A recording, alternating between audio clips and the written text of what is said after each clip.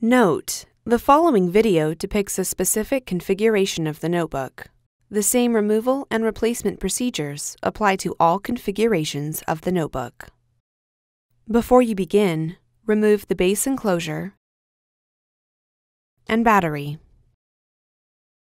Removal. Remove the 2mm P1 Phillips broadhead screw that secures the solid-state drive bracket to the top cover.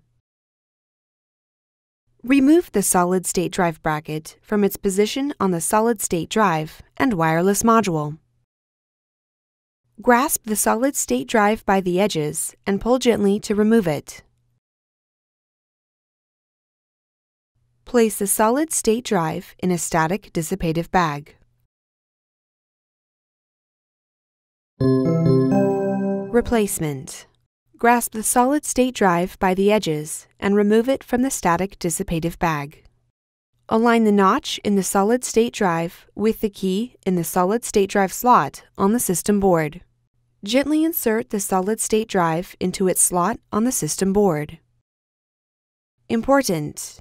Ensure the wireless antenna cables are free from being pinched between the solid-state drive and top cover. Place the solid-state drive bracket into position over the solid-state drive and wireless module.